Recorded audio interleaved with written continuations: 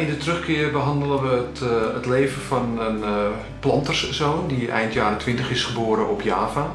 Uit een uh, blank gezin die een theeonderneming voert. En via zijn leven maken we kennis met de koloniale samenleving van voor de Tweede Wereldoorlog. de Japanse inval waarbij hij en zijn moeder, broertje en vader geïnterneerd raken.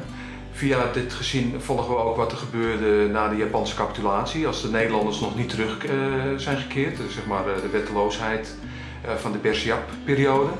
Daarna de terugkeer van de Nederlanders, waarbij deze Bas, die inmiddels een jonge man is geworden, dienst neemt bij het Nederlandse leger. Via hem volgen we wat er gebeurde tijdens de politionele acties.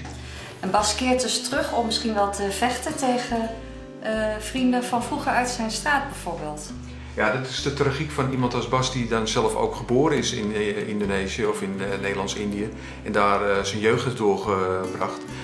Jeugdvriendjes die blijken dan opeens tegenstanders te worden en dat is natuurlijk een enorm ja, tragiek in zijn leven. En vandaar ook de behoefte om zoveel jaren later, als hij een oude man is, om terug te keren, om te kijken wat er van het land van zijn jeugd is overgebleven.